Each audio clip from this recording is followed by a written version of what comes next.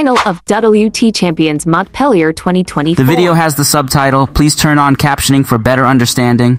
Allez, Anita.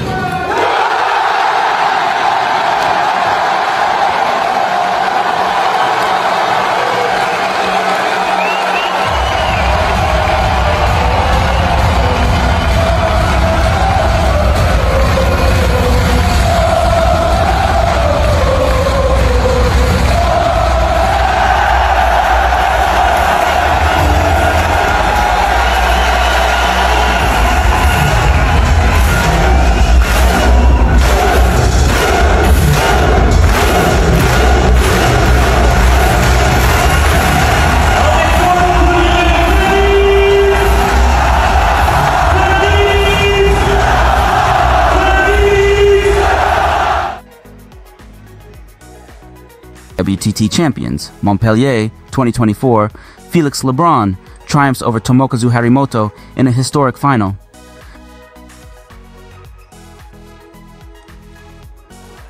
The 2024 WTT champions. Montpellier final was a showdown no one could have predicted just a few months ago. Felix Lebrun, the rising French star, faced off against Japan's Tomokazu Harimoto, the reigning Asian champion who had recently defeated Lin Shidong. In front of an electrified home crowd, Lebrun claimed a decisive four, one victory over Harimoto, securing his place in table tennis history.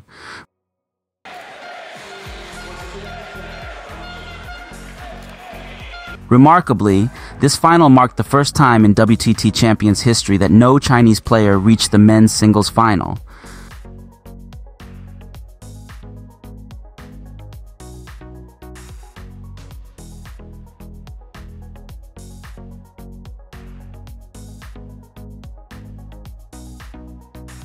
The absence of top Chinese stars like Wang Chuqin, Fan Zhendong, Ma Long, and others inevitably influenced the event. Some fans, noticing the rarity of a non Chinese final, have been quick to call it the end of an era for Chinese dominance. But let's not rush to conclusions.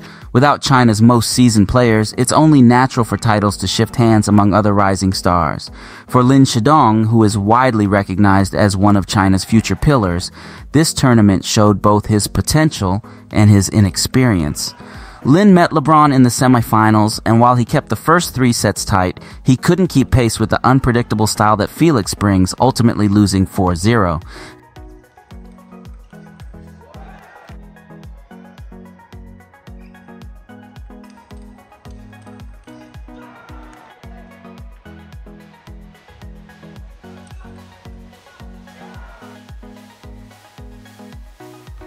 Felix's quick adjustments and aggressive close to the table play exploited Lin's current difficulty in adapting to varied styles.